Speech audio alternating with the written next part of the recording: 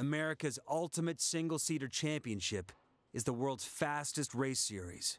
Here, aerodynamics are vital, given that racers can hit speeds of 220 miles per hour when they aren't navigating banked ovals or passing other drivers.